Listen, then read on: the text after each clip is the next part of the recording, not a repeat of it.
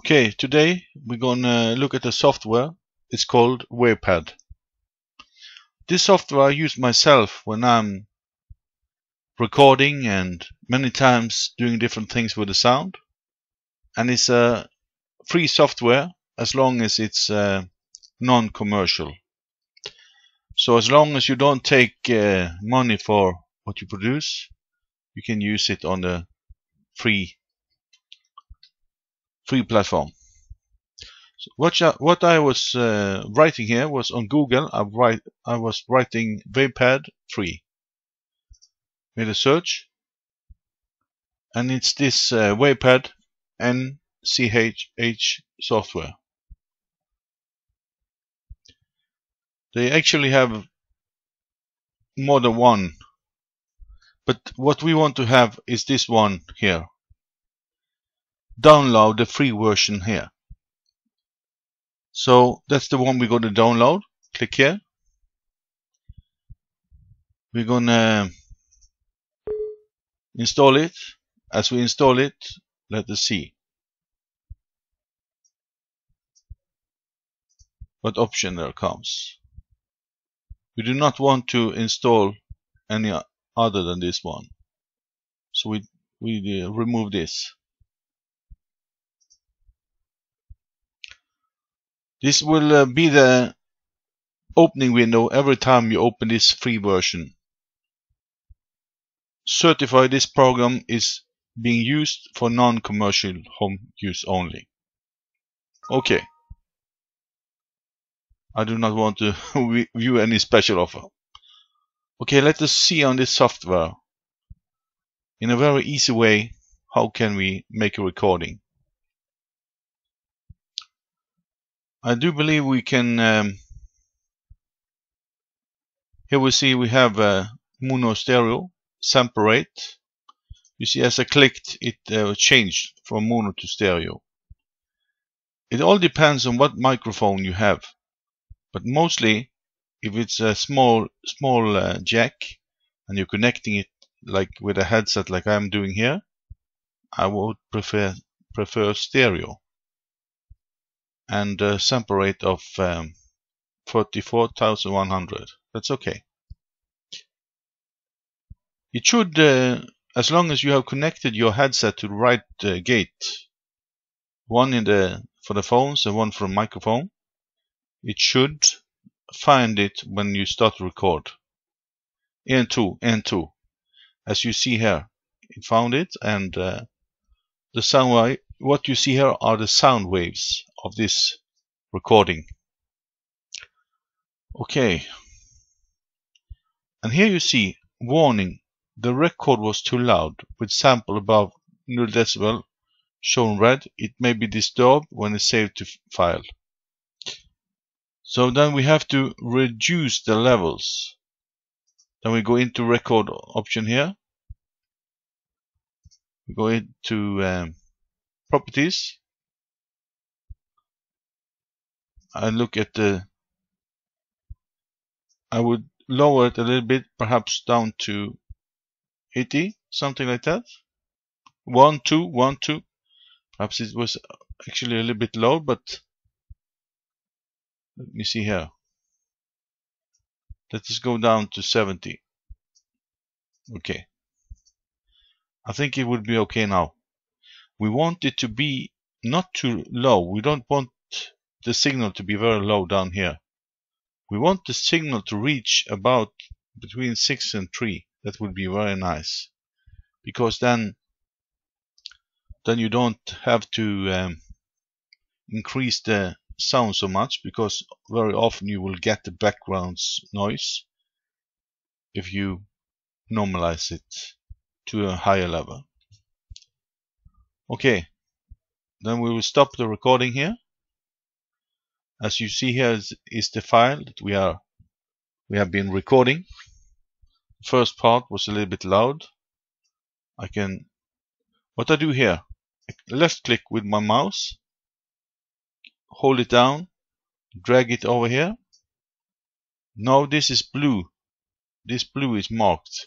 And I can take delete. And now it's deleted all this blue that I had So if it was something here I wanted to delete, I was example, and then I could just find this point point of where it was, and I could and I can remove it like that. And uh, what you want to do, as you see here, some some waves can be very high, as this one was very high. If I want to normalize this to a level that is more, is a little bit better. The highest one will be the one that will be the one that is the leading how much it shall be normalized. So it would be nice to have a little bit better adjust before we normalize it. What we can do is to compress it a little bit. In that way, the sound will be more equal. So we can use a tool called compressor. There are some presets here. Smooth compressor, soft limit, hard limit. The limiter, it tells I don't want it to go extend a certain limit. Let us see. Fast compressor. How it will work. We're going to apply it. Okay, I will uh, put my my chin to, and now you see here, this place here. This was very loud, loud before. Now, of course, it's a little bit small. But what we have done is that we have reduced many of the, those that was much higher than the other. And now we can normalize it to 89. Then it will be okay. Signal to be very low down here. We want the signal to reach about between 6 and 3. That would be very nice. Okay. What we want to do, you know, I'm also recording at the same time, so I'm actually very impressed with this new software that I'm using. It is called uh, Active Presenter, and it showed itself to be very good. So I, I really like it. It's the first time I'm using it to make this um, movie here. Okay. There are you know, sometimes people will have some more noise here. Like a shh. What you can do then, you can, uh, I do believe the cleanup have some tools to help you with this.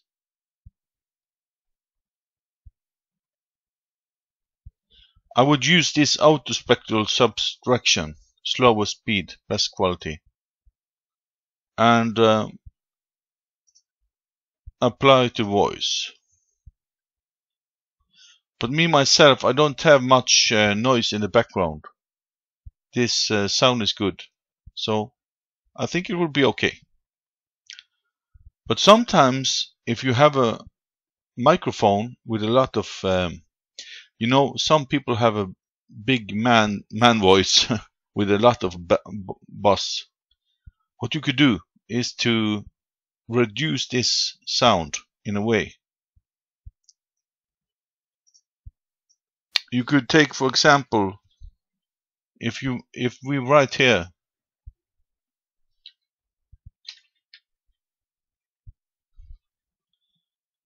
fifty, now it will uh, remove the hertz below 50 so we take apply. So it reduced. What you also can do if some some some here can be very high compared to the other, you can do like this. You will find a place. This is just an example how it can be done. You can amplify 100% means that it is like it is now.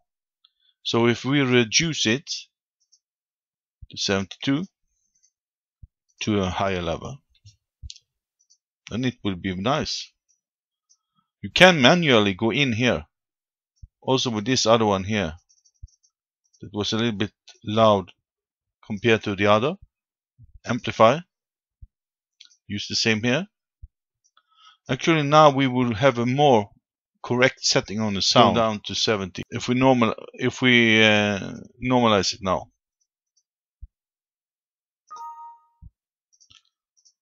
So um, don't want the signal to be very low down here. We want the signal to reach about between 6 So and that's 3 not so bad. would be very nice. But you know if you want to share it on the internet you have to make some changes because this is uh, made in wave format. That is the that is the CD format used for CDs what you could do is to um, record and uh, make a recording like this and if you have a lot of space you can save it as wave to have the best quality. But in this in this instance no in this um, tutorial as I show here. I, I do believe that uh, when you are having speeches, then for not uh, because some speeches, if you're making a sermon, it can be perhaps an hour or something, perhaps more, and it will take a lot of space in some time when you've made some recordings. So you might consider to use a compressed format called MP3 this is a format that is very used on the internet when you are to share the files on the net. What we will do then, we will save the file as. You see here, save file as. We will have an MP3. You can do like this, make a recording,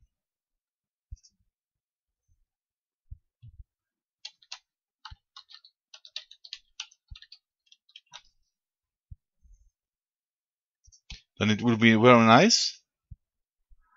Test 1. Okay.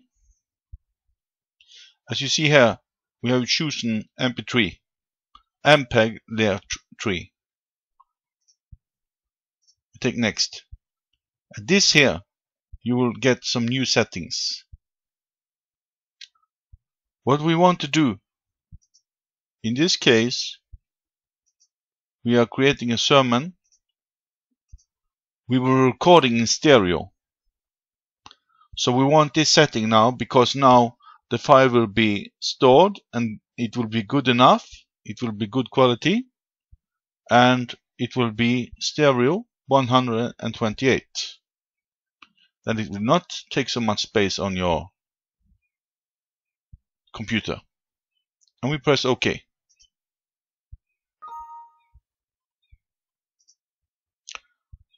Okay, as we now close it, we will find the file. If I open, open file, I can go to um, music, recorder sermons, and here I find this file that I was storing on my computer on music. I would open it, and you see here, here it is. An example, if it was uh, you wanted to make it shorter, it was something you wanted to remove it is want it to be still good enough low. quality. We don't want to, to do the signal to be very low down here. But what you must remember is that you have already made it as MP3. If you again save it as MP3, it will be reduced some in the quality.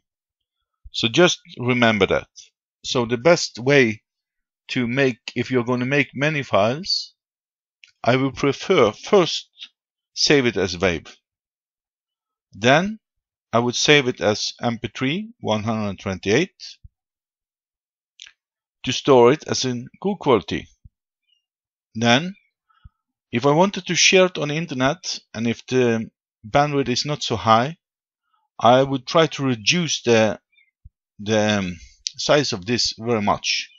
So that still I would use um, MP3 and I would just um, what I would do I would um, use an ending on it and call it what I want it to be.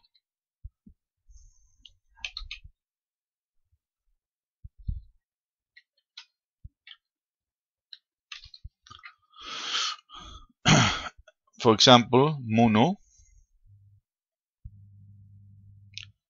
and um, as you have it here you could example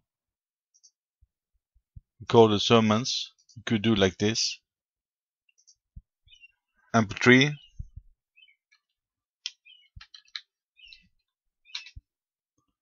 this one was in 128 or you could uh, and you could do like this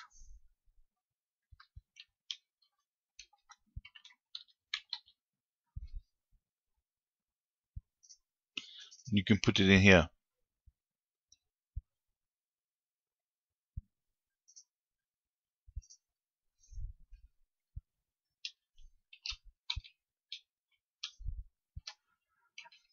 So you would know the file that you were to upload where it was later if you need to find it. Store. Now I would change it to mono this will help you to reduce the size, but the quality of the sound will be better. If I have chosen stereo, it will be not so good sound as I was choosing mono when I'm reducing the size. So we want the file to be very small. So we're going to use 32 and mono. Take OK. Now I can close this. I will find uh, my files here record the summons. I'll go here, 32, test it. Let me see here. Let us go down to 70. I think it would be okay now. We want it to be not too low. We don't want the signal to be very low down here. We want the signal to reach about between 6 and 3. That would be very nice. Because then, then you don't have... Okay, so you get the picture. You could use as uh, example 64 mono 2 or 64 stereo perhaps. But you you need to choose yourself what you would like to use. But here you have got a small view of how you can do things. May the Lord bless you in the good work and help you to um, be able to do this. Amen.